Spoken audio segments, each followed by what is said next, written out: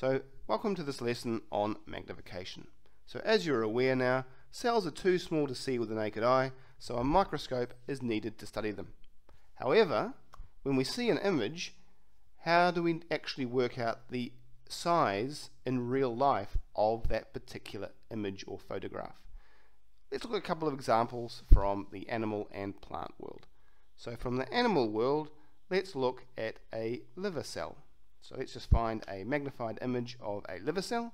There's one there. Okay, let's just move that around to the top. Give us an idea. Okay, and we also, from the plant world, let's look at a magnified image of a palisade cell. Okay, there we go. Let's see if we can find a magnified image, and we can. Okay.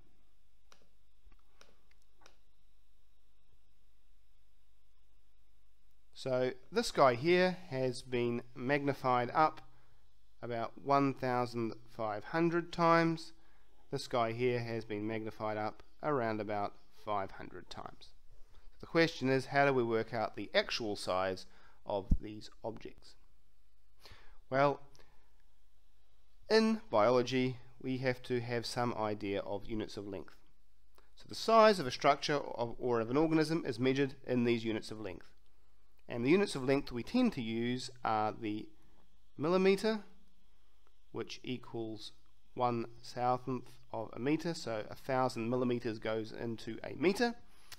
We have the micrometer, which is one millionth of a meter, so a million micrometers goes into a meter.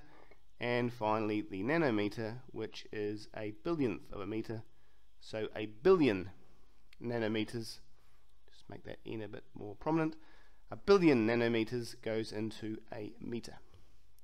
And there are two equations that we can use to determine the actual true size of an organism uh, using its actual measurement and a known magnification. Okay, so the first equation we can use is known as the magnification equation. So magnification of an object will equal the measured length divided by the actual length. And if we rearrange that equation, the actual length will be equal to the measured length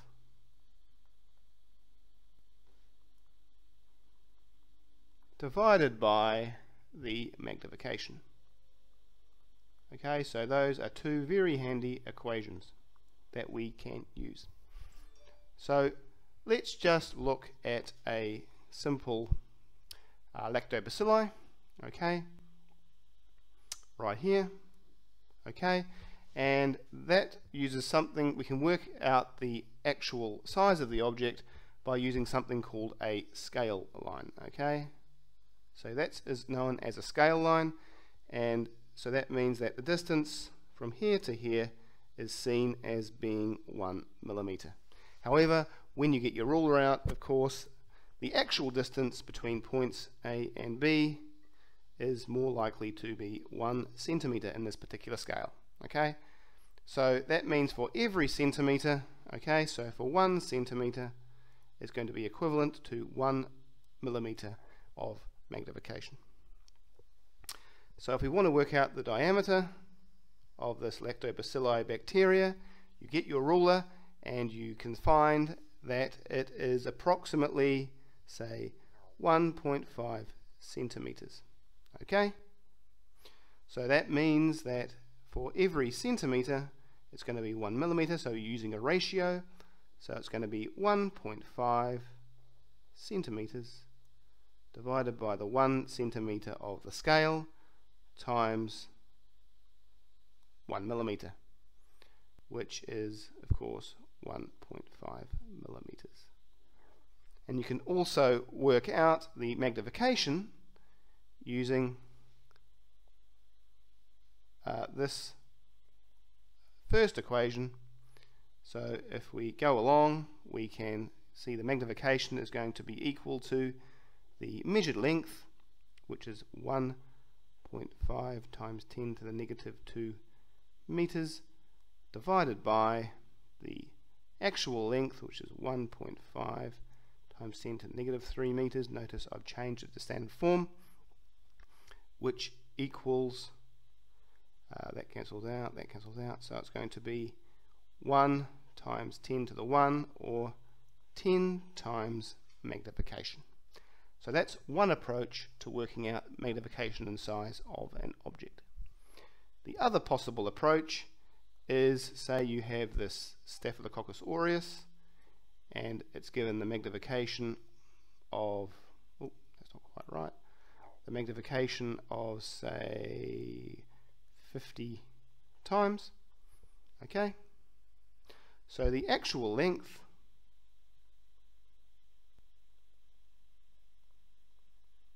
is going to be equal to the uh, looking at this equation here now the measured length. So say we have that as being 5 millimeters. Okay it's going to be the measured length divided by the magnification which equals 1 over 10 if we do some degree pokery it's 1.1 or 0.1 millimeters. Okay, so that is in a nutshell how you do these calculations. Okay, so just a few pointers for um, those doing IGCSE.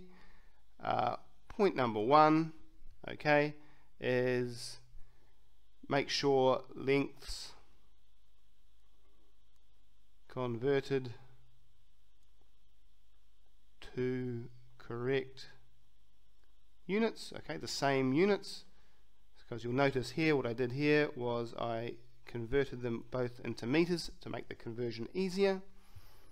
Um, remember the two formulas which I've already given here okay and the second point is that uh, because we're extended students extended students in IGCSE you will be using millimeters or micrometers, not uh, centimeters or millimeters. And that, in essence, is magnification in IGCSE biology or biology in general.